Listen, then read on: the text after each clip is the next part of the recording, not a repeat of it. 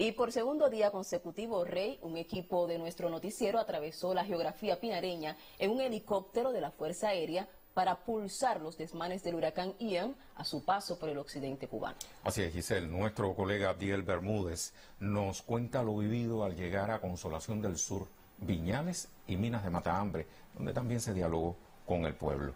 Veamos el relato de esta jornada.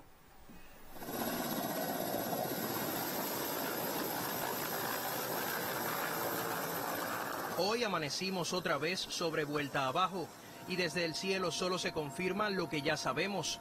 La recuperación será paulatina porque las afectaciones son cuantiosas y ha sufrido mucho el fondo habitacional de una provincia que ya arrastra heridas de huracanes anteriores. Esta tripulación de la Fuerza Aérea conduce a nuestro equipo hacia Minas de Matahambre.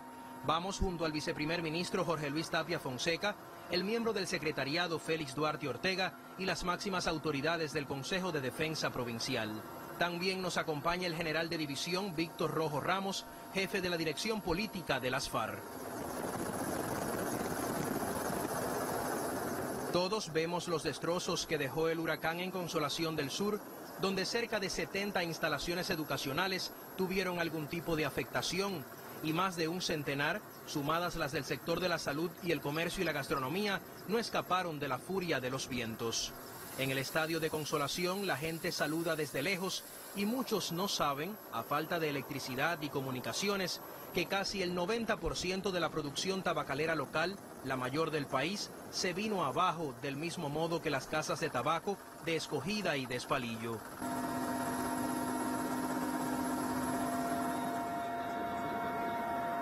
tenemos que tratar apoyarlo, trabajar en la preparación del producto de ciclo corto, el boniato, la calabaza, los organopónicos para la campaña de frío, los vegetales, y bueno, una campaña de siembra muy importante a partir de ahora.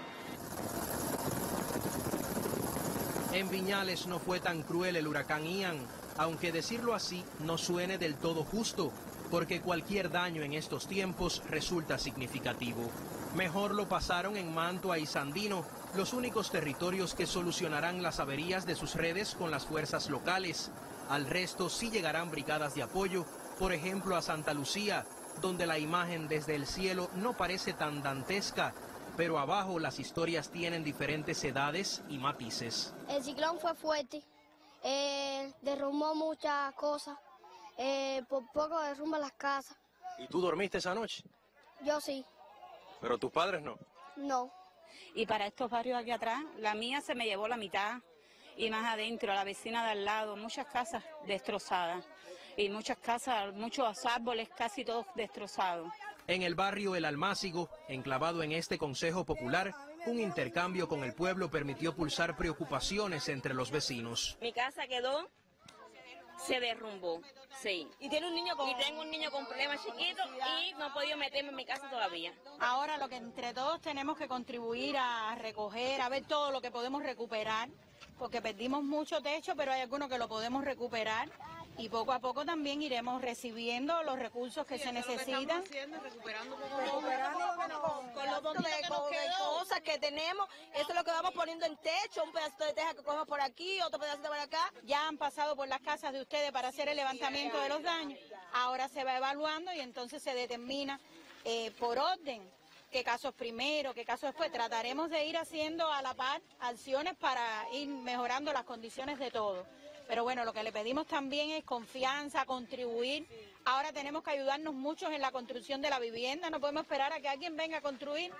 Apoyaremos en la construcción, pero hace falta que la familia también se sume, los compañeros de trabajo, para en el menor tiempo posible podernos recuperar. La nobleza de esta gente es memorable, aunque no por ello dejaron de expresar su descontento por los problemas con el abasto de agua y la solución demorada de los casos más críticos hay que ver qué de lo que podamos recuperar en el sector estatal, que tal vez no nos sirve más para ponerlo en el lugar donde lo tenía, cómo lo podemos utilizar para ayudar a los trabajadores que tenemos ahora mismo en condiciones desfavorables. En diálogo con representantes de diversos organismos y sectores con un rol decisivo durante la fase recuperativa, Tapia Fonseca indicó priorizar la atención a los evacuados y a las familias vulnerables la entrega de la canasta básica y el acceso de los damnificados a los recursos, ubicando estos más cerca de la comunidad. Tenemos que revisar cómo vamos a atender a los casos vulnerables, que eso no se chequea en oficina. Alquila la casa. Entonces, ¿quién es la delegada de ella? ¿Qué está haciendo los CDR de esa circunstancia? Ella es federada. ¿Qué está haciendo la federación con esa compañera? El delegado. Hay un trabajador social en la circunscripción. Nosotros tenemos que poner a funcionar las estructuras que tenemos creadas. En el reconocido enclave industrial de minas de Matahambre se había afectado el techo de la planta de plomo de la empresa geominera, pero ya se logró recuperar la cubierta y la mina está activa para producir concentrados de plomo y zinc, al tiempo que reiniciaron las operaciones portuarias. Al término del recorrido encontramos en la pista, listo para partir hacia Puerto Esperanza, al general de cuerpo de ejército Ramón Espinosa Martín, viceministro primero de las FARC. Conocedor de las tareas de dirección ante eventos de esta naturaleza, convocó a la incorporación inmediata de todos los organismos y entidades del territorio en las tareas de recuperación. La solidaridad de Cuba no le faltará a vuelta abajo, pero los pinareños han de comandar todo cuanto se haga para borrar las huellas de este huracán. Reiler Fuentes, Alberto Dumas y Abdiel Bermúdez Bermúdez, Sistema Informativo de la Televisión Cubana.